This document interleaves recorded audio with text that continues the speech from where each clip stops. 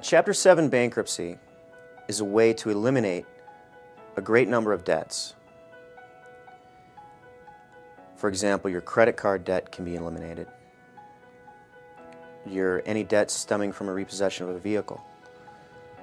Also, a debt from a second mortgage on if, if the house has already been foreclosed on. There are big advantages in hiring a bankruptcy attorney versus trying to file a bankruptcy on your own. One of those advantages is that we can help navigate you through any potential pitfalls.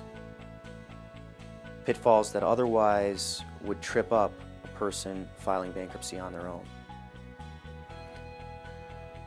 In addition, most of the time I can help my clients save property and money during the course of a bankruptcy.